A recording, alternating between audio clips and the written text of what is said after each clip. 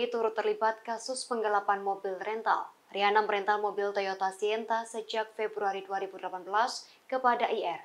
Namun mulai Desember 2022 pembayarannya tersendat atau gagal bayar.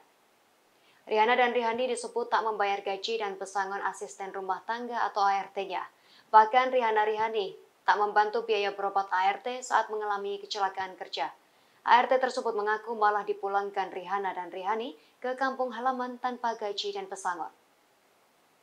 Kejahatan selanjutnya, Rihana Rihani mengaku menjanjikan pekerjaan sebagai asisten pribadi.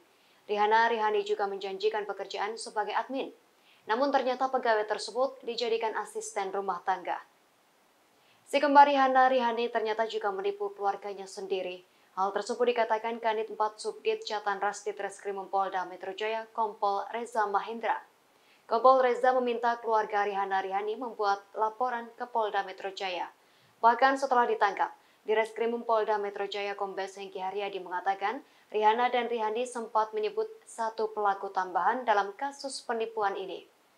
Namun setelah diperiksa, ternyata pengakuan tersebut tak terbukti dan merupakan karangan belaka atau hasil pemeriksaan itu dan nanti apakah merupakan suatu kebiasaan mata pencarian yang bersangkutan dengan cara melakukan pembelian barang dengan tidak membayar dan sebagainya itu ada potensinya lagi dan juga kita kenakan pasal ITE karena pada saat melakukan penawaran itu melalui media sosial dengan ancaman 6 tahun penjara.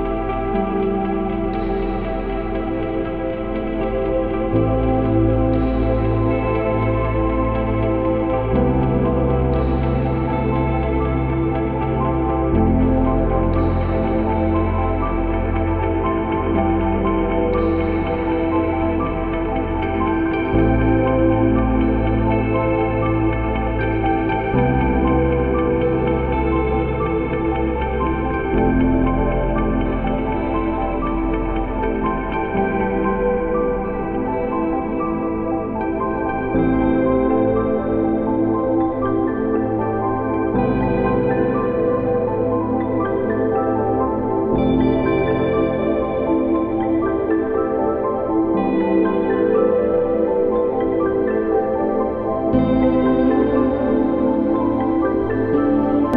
nonton?